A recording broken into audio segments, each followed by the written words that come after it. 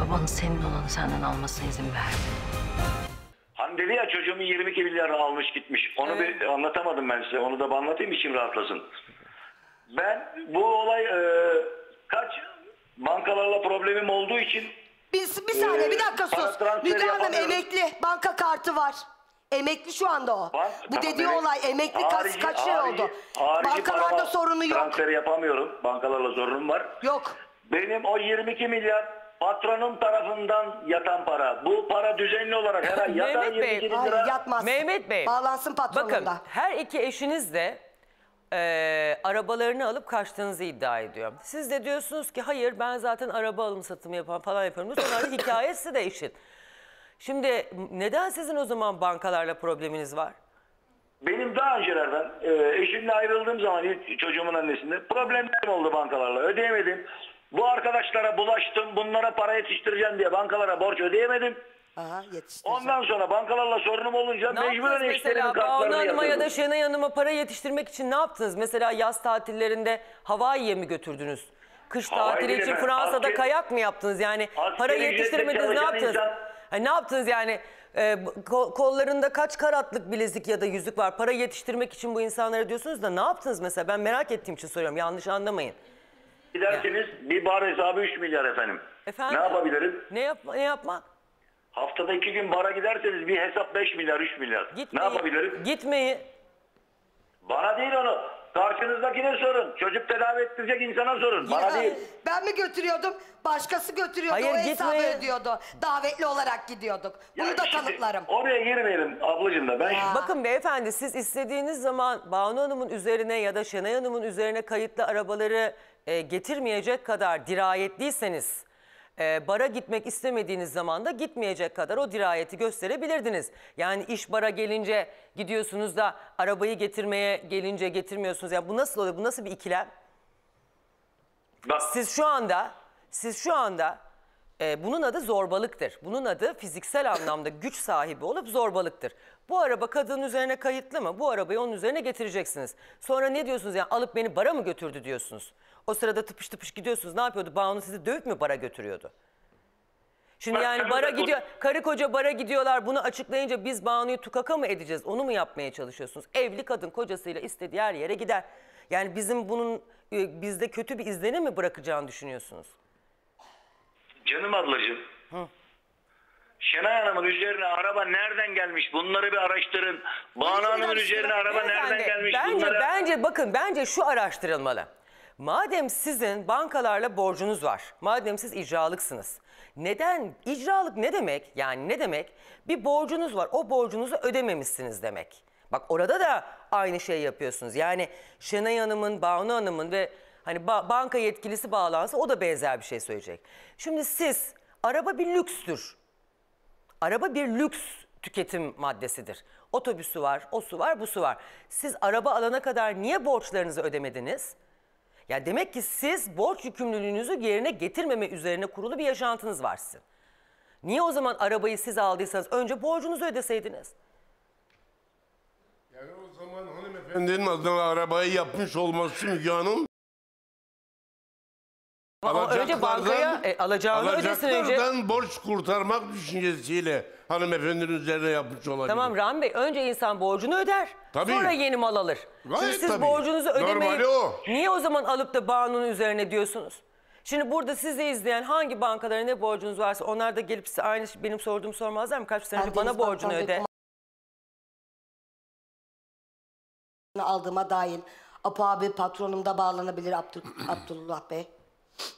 Yani bak ben size bir soru soruyorum. Sonra diyorsunuz ki konuşamadım. Niye önce borçlarınızı bitirip sonra araba almıyorsunuz diyorum. Araba Efendim? herkesin arabası yok ki beyefendi. Burada kaç kişinin Anladım. arabası var?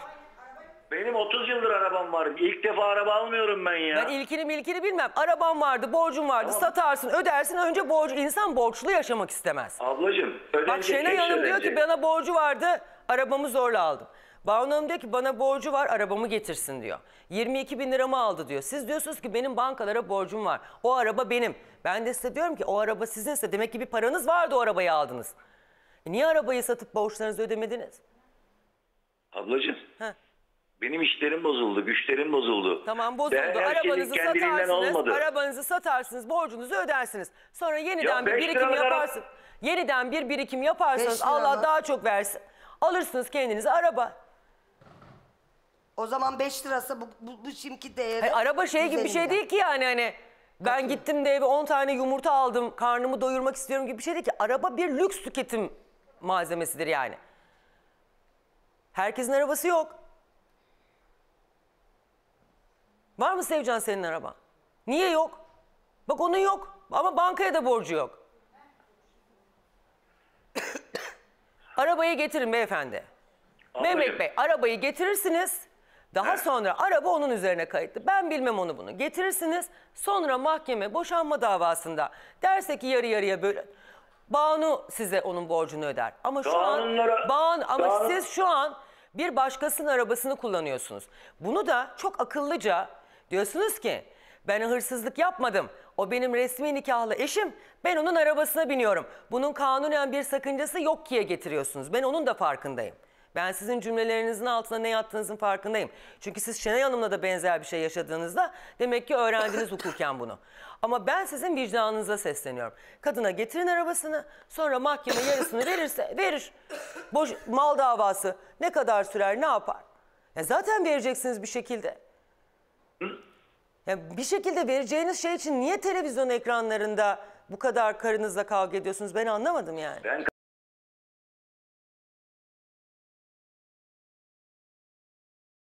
hakkını arıyor niye utansın? Niye Şenay Senin utan? yüzün olsa şuraya gelirsin zaten. Mehmet Bey şu anda Öyle şey olur mu arabanın utansın? ruhsatı Banu Hanım'ın adına değil mi kardeşim? Evet. evet kardeşim onun Şu üstüne. anda hukuken bu arabanın sahibi Banu Hanım. Siz vaktiyle bir jest yapıp eş olarak evlilik devam ederken Banu Hanım'ın adına yapmayla Yapmadı. bir kibarlık yapmış olabilir. Hayır hayır Yapmadı. onu değil mi yapmadı. Diyelim ki Yapmadı. Çeyiz bakın paranla. Banu Hanım diyelim ki Mehmet Bey kendi parasıyla almış size bir Almış jest olsaydı ben buraya çıkmazdım Hanımefendi zaten. bir dakika dinler misiniz? Böyle yaptığını kabul etsek dahi kalkıp şu anda arabaya el koymasının ne hukuken ne vicdanen bir tutar tarafı yok. Şu anda Banu Hanım ilgili mercilere müracaat etse ayrıldığımız ayrı bir, bir müddetten beri ayrı yaşadığımız eşim benim adıma kayıtlı olan arabamı aldı, kaçırdı dese trafik polisleri sizi gördüğü an arabaya el koyar ve Banu Hanım'a teslim eder.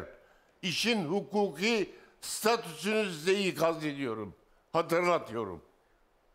Onun için lütfen daha fazla kendinizi de olur olmaz yerlerde yanınızda bir takım kişilerin yanında mahcup olacak duruma düşürmemek için hanımefendinin arabasını teslim edin. Ha siz tekrar hemen boşanma davasında mal ayrım davasının sonucunu beklemeden de bu arabayla ilgili taleplerinizi ilgili mahkemeye sunarsanız mahkeme boşanma kararını beklemeden mal ayrım kararını beklemeden bu arabayla ilgili bir tasarruf kararı alabilir. Bir tedbir kararı alabilir. Hadi getirsen yani Mehmetciğim Bunları arabayı. talep edebilirsiniz. Yani Banu Hanım'ın alıp da bu arabayı başkasına satması korkunuz varsa buna da engel olabilirsiniz.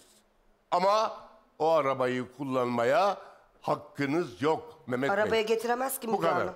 Parçala araba diyor pert diyor. Motoru yandı diyor. Mesajları ekip Bir arkadaşlarımıza dakika bir verdim. Mehmet Bey ne diyecek Banu Hanım? Bu Dinliyorum. üstüne cevabını bekleyelim. Dinliyorum efendim. Dinlediniz. Yani Evet, ben dinledim. size Siz- siz ben haklısınız. size Mehmet Bey bir hukukçu olarak bir takım yolları çizmeye çalıştım. Tabii dinlersiniz, dinlemezsiniz, kabul edersiniz, etmezsiniz.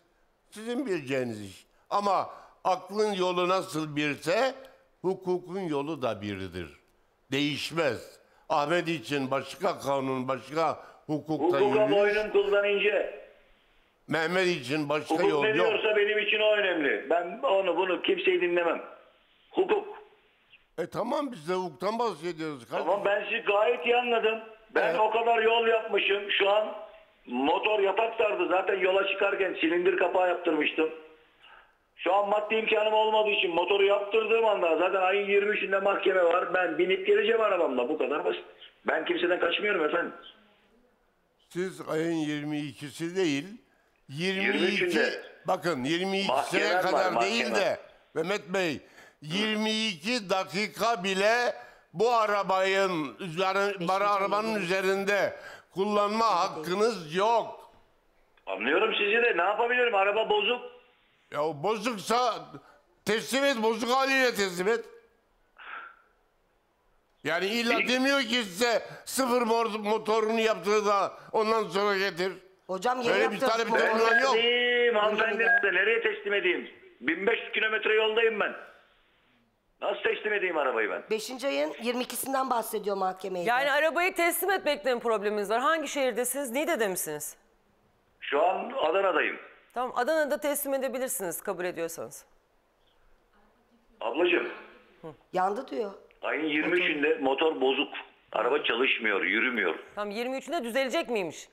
23'üne kadar aylığımı alıp 23'ü. maddi imkan borç aç motoru yaptırıp binip geleceğim zaten mahkemeye bağlanımın karşısına. Ben kaçmıyorum. Yani şey mi istiyorsunuz siz ayın 23'ünde oraya geleceğim diyorsunuz randevu veriyorsunuz. Oraya da biz şimdi polisleri çağıralım gelsinler orada arabayı el mi alsınlar el koysunlar mı istiyorsunuz? Fark etmez ben zaten mahkemeye vereceğim. Ben hanımefendiye para da teklif ediyorum kabul etmiyor. Etmiyorum. O arabasını istiyor. Arabanın O zaman arabanın parasını versin bana. Niye vereyim sana hakkın Senin olmayana? gezdiğin bozduğun Çeyiz arabanın paramı tamir aldım parasını mu ispat verecek? edeceğim.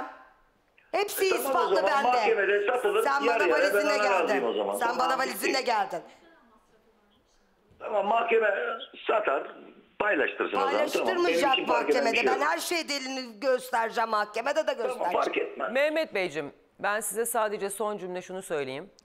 Bakın hayatta arabada yerine gelir, motoru da yerine sen. gelir, tamirde olur, her şey olur. Ama bazı şeyler var onlar kaybedildi mi yerine gelmez. Bence daha fazla bazı değerlerinizi yitirttirmeden siz gerekeni yapın. Rahmi Bey'in dediği gibi. Onur, şeref, ahlak, namus, eee, para mefhumu, özellikle para konusundaki güven, para ahlakı kaybedildi mi bir daha yerine gelebilecek, toparlanabilecek şeyler değil. araba gider, araba gelir. Bakın burada iki tane kadın bağlanıp size bu sözleri Daha çok söylememeliydi. bağlanacak olanlar var. Ben size akıl verme durumunda değilim. Zaten ortaya söylüyorum. Sizin şahsınızda da söylemiyorum. Ama diyorum ki her şey yerine gelir. Maddi olan her şey gider gelir. Ama bazı değerler var. Onlar kaybedildi mi istiyorsan onun üzerine trilyonlarca para öde geri gelmez.